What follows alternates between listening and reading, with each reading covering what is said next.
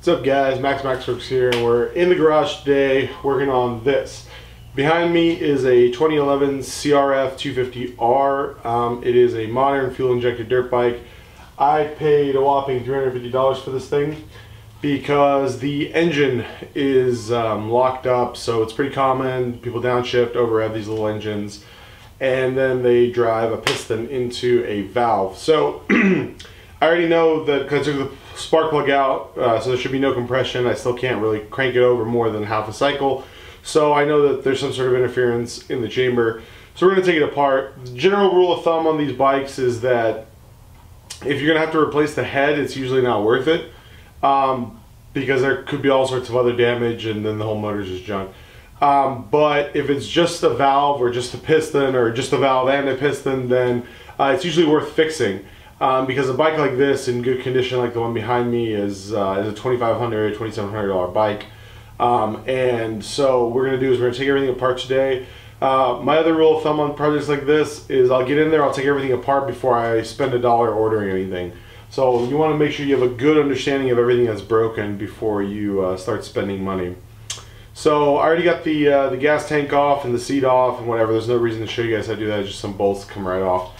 Uh, but the next thing we're going to do is we're going to get in there, we're going to take the head off so we can have a good understanding of what's going on in the cylinder.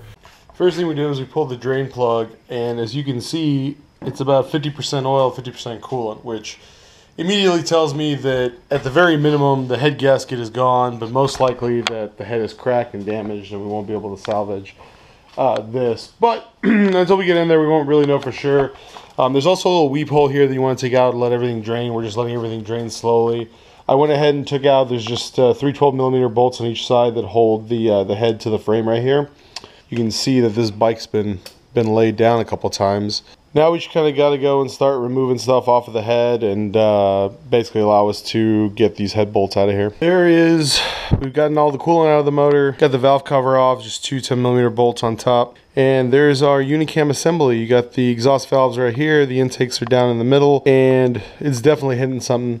So next thing we're gonna do is we're gonna pull off this um, timing chain tensioner, and all you gotta do is undo the tensioner and then uh, take off these uh, 8 millimeter bolts and the whole assembly just pulls out. With that out of the way, you should be able to remove these 10 millimeter bolts that hold the cam in and then remove the cam. Uh, one good trick is to put a little piece of welding wire around this and hang it out. That way you never have to worry about losing the chain down through the head. Remove the cam holders. and see there's a little bit of scarring in here, not too bad and these retainer clips. Make sure you don't lose these retainer clips. Also, um, these are labeled and then the two shorter bolts go towards the intake side. So here's a cam, and this is what we like to see. There's um, a few marks here, but the intake lobes look completely brand new, like they've barely even been broken in. The exhaust lobe has a little bit of wear on it, but nothing too significant. I don't see anything that even resembles a flat spot or a heat mark or anything. And the bearings look to be in good shape. So I would say this cam is in good shape, so we can just put it right here. At this point, um, we have to unhook the intake throttle body thing because normally it's a carburetor, but not here. And then we should be able to remove these safety bolts and remove the main head bolts and pull off the head. Nice thing about dirt bikes is while they are expensive to rebuild, they are designed to be rebuilt, especially a race bike like this. Um, you just blow them up, that's just part of the business. And so they're not, not too, too hard to take apart. Here are head bolts. I labeled them now, these head bolts are usually stretch bolts and you never want to reuse them, but it's nice to be able to go back and measure them to double check what you're ordering. A lot of times the rears will be different from the fronts. Now, with that removed, we should be able to just take a small mallet and get the head busted loose, pop it out of the intake and take it out the side of the uh, side of the frame. Well, sometimes bikes aren't over revved. Sometimes they're just owned by dipshit motherfuckers. Take a look at this. This right here is a little Phillips head bit. And do you know where I found this? Inside the combustion chamber. This piston is gouged to fuck. Now, the funny thing is, is I don't see any scarring on the walls, so I think this piston could potentially even be reusable. You could probably run for quite a while with this. Um, I wouldn't, but you probably could in a pinch. We're going to take the jug off in a minute so that we can inspect the rings and everything else. And then if I take you back over here to the cylinder head, This is the bad news. As far as I can tell, I think three out of four valves are damaged, and there is a little bit of damage to the head itself in the combustion chamber, but nothing that can't really be uh, sanded or smoothed out. I think all of the critical stuff is okay. Obviously, I'm gonna have to clean it up. It was gonna need all four new valves, but four new valves or four used valves online, you know, might be I don't know 150 bucks for new valves rather than you know $700 for a new head. Um, so I think this is actually going to be rebuildable, but I need to take this part, clean up a little bit, and take a closer look at everything. Took all the valves out. All four valves were bent. Um, I found, where was it? Right in there, you can see that right there looks like a crack, maybe. Uh, but more importantly, if you look right in here, you can see this intake seat survived. This was the intake valve that was really bent, and it cracked right there and that's that's the problem. Oil is going to come into the cylinder from there and coolant probably came in through this cracked jacket and that's that's what's going to fuck us right there. Um, because if this seat was okay everything else I could kind of clean up and polish up and whatnot but uh, that right there means we need a new head casting and those are expensive. So I need to go and do some more online research Alright, well we can finally got some more parts in. So, recap, piston is off, engine is at top dead center. We can begin reassembly. So let's take a look at what we got over here. Uh, I got a Wiseco race piston kit. Um, I already put the rings on it. Comes beautiful, beautiful machine looking little piston. and so the deal with this is when you put the rings on, put the rings on in the right order.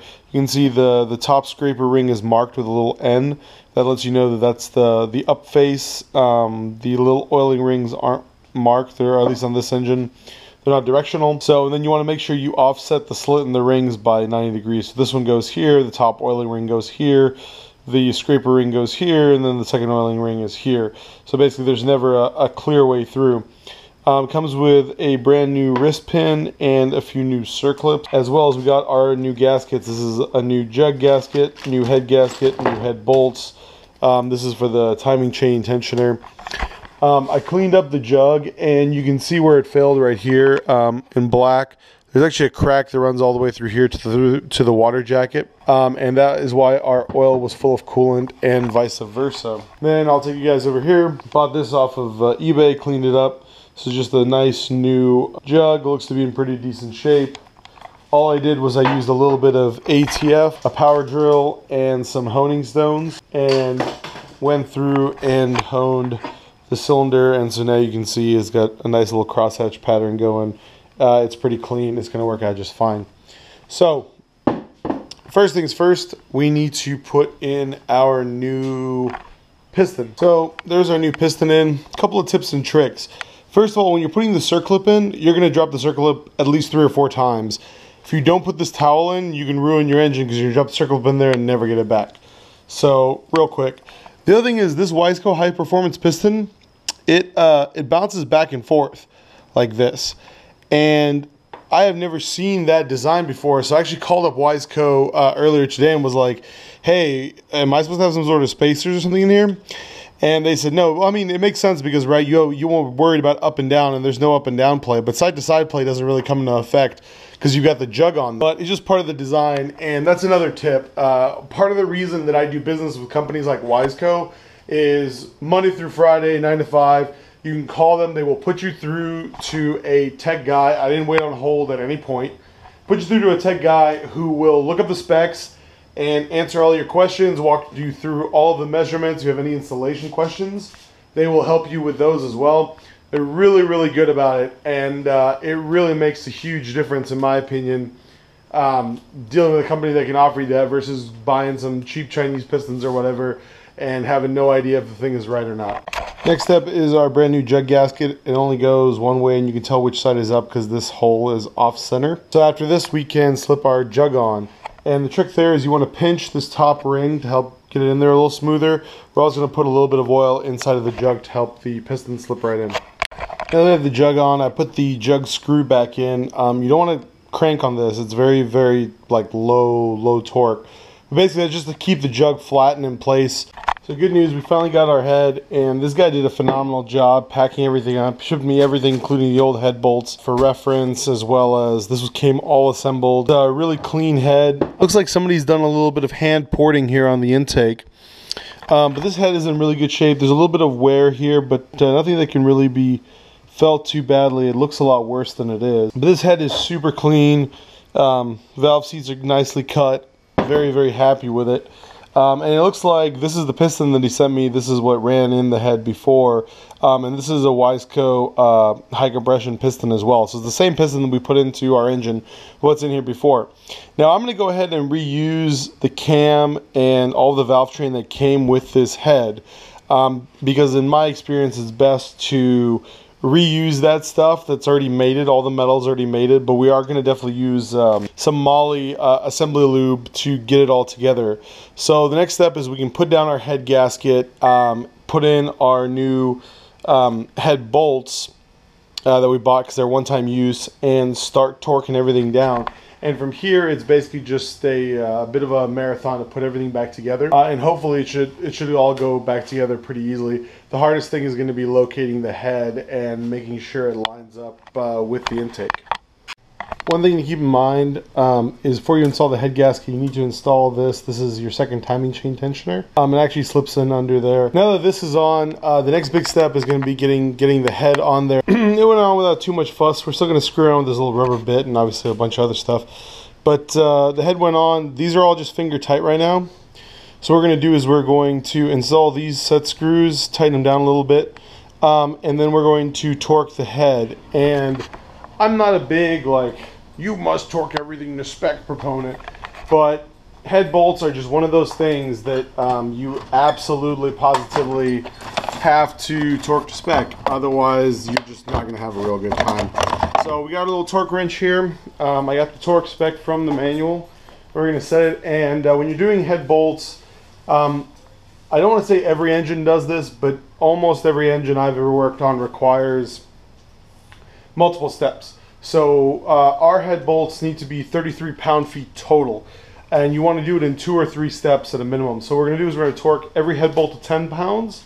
Then we're going to torque every head bolt to 22 pounds. Then we're going to torque every head bolt to 33 pounds. And then we will be done with that. Now that we've got the head bolts in, the next step is we've got to install the valve train. Which means we got to make sure our timing is set up. Which means we got to come over to the other side here. And if you take a look in there, you can see there's a dot and an arrow. And when you're looking at them dead nuts on, they're lined up. And that's top dead center. So now we know how, we know the crank is set to top dead center, so we can set the cam to top dead center. And then while we're over here, we can just go ahead and uh, probably like a water temperature sensor. Now to set timing in this engine, you have two little hash marks you can see right there. You want them to be uh, lined up with this surface right here. So you can see we're perfectly lined up over here. And we're gonna now wanna go come back and just double check our crank sensor or our crank lineup is still there. So now we can put in the, um, the cam retainer caps. And on this engine you have to be careful because the cam bearings are replaceable so they slide back and forth. Uh, so you're going to want to get this lined up exactly. And you also want to be very careful not to drop these things into, um, into the engine because that would be bad. Now, I'm using this stuff. This is Redline Assembly Lube. I've had this bottle for years and built countless engines with it. Stuff's great. It's basically just a moly lubricant. and you run it for a couple hours and then you change out the oil like you normally would and it's like it was never there. But it helps with that first dry startup. There we go. Our cam lock retainers are in. You can see the cam has almost no play side to side. Um, a little bit that's just in the bearings. It's totally normal. You can see our timing is still set here. We'll check on the other side. Our timing is still set. Um, that's one thing I can't stress enough. Check your timing. Every step I do when I'm rebuilding a motor, after I've set the timing, I check it. So put the cam retainers on, check the timing. Put spark plug in, check the timing. because one tooth off in the timing, you trash a brand new engine. It's not worth it. It's an easy thing to do. And the more you learn to double check it, the more you learn to trust yourself and know that you're doing a good job. Now, at this point, um, let's see, what else we need to put in? We need to put, after this point, I think we can actually uh, kickstart it over um, just, just by hand and make sure nothing binds and everything seems to work. Okay, so the timing chain tensioner is in. Basically, you want to untension it, put it in there, put the bolts down, and then release it, and it'll auto tension the chain. You can see it's quite taut, um, but still a little bit of give. so that's exactly what that's supposed to do. Um, it can be kind of a pain in the butt to get in there. So next thing we're gonna do is we're gonna adjust this and tighten the intake, and then put the um, the cover on the valves.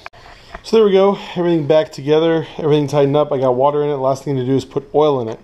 Now, this is the engine oil fill. And on the other side, there is a separate oiling system for the transmission. And what you want to do is put about 670, 700 milliliters of oil uh, into each side. And it's kind of a clever system. I guess it's like a race system. So it's like half two stroke, half four stroke uh, in the sense that you have separate, separate systems. Um, but we actually drained everything when we took everything apart, even though probably didn't have to drain the transmission. But so we're gonna put 700 milliliters of oil on each side and put the tank back on, and I think that we're ready to fire it up.